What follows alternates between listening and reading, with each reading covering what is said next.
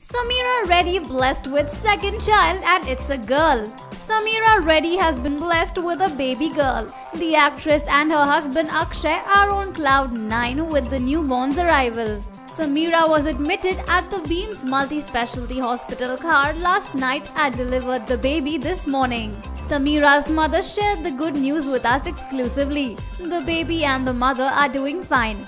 Many congratulations to the couple.